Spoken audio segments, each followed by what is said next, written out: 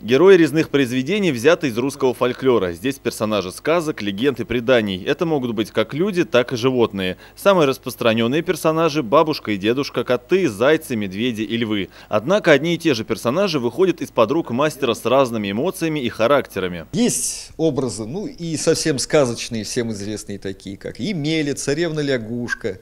Вот. По пословицам Делу время потехи. Тя, час – это дед Потешкин, пляшущий такой, Дуська. Вот. Своя ноша не тянет. Это такой, как бы дедушка тоже мужик, несет на плече мешок, но улыбается. Как вот то, что берем на плечи, надо нести уже с улыбкой. Большая часть изделий выполнена из липы, но для некоторых игрушек резчик выбирает березу, ольху, тополь, а также кипарис и даже акацию. Все работы выполнены в авторской необычной манере резьбы техники одного резца. Ее суть заключается в том, что мастер пользуется исключительно одним инструментом. В изделиях Игоря привлекает и то, что человек без художественного образования так профессионально овладел непростым ремеслом.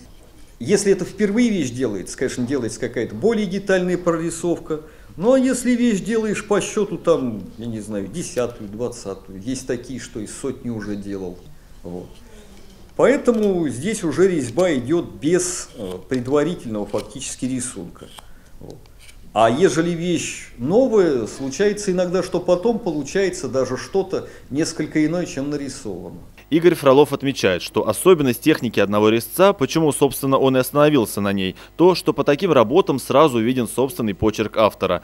К слову, Игорь Фролов является автором ряда учебных пособий по резьбе, а сама выставка деревянных миниатюр приурочена к 30-летию его профессиональной деятельности. Посетить ее можно будет до конца февраля. Кирилл Ужегов, Алексей Кандалов, телеканал «Вариант».